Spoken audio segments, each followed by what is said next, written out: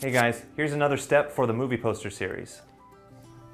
So now that we've employed destructive elements or false structure into this building, we want to incorporate the building so it looks like it really blends in with it, specifically with colors. So the first thing we're going to do is create a little bit of a rusted effect on the building itself.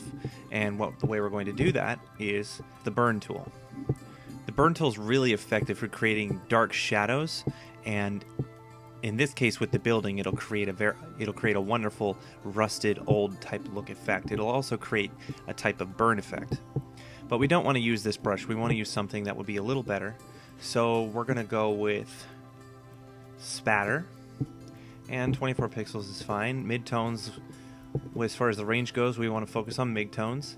And we'll make the exposure 75% so make sure that your city layer is selected and just start coloring it in.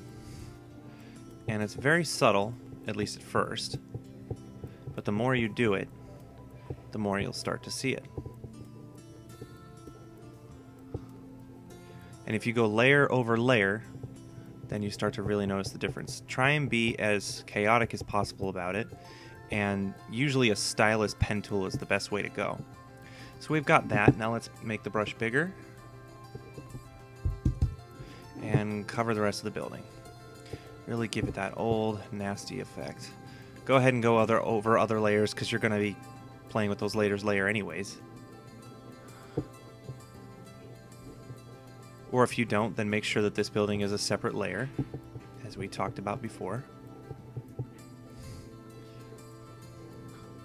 Just really color it in. Color it in everywhere.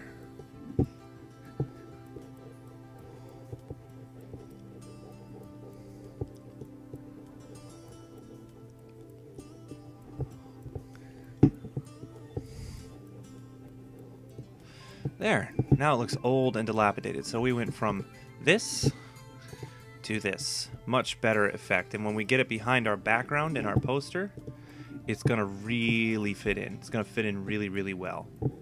So the next thing we want to do is start to remove windows because no exploded building would be complete without exploded windows. Very easy and simple task, but we're going to go through it anyways.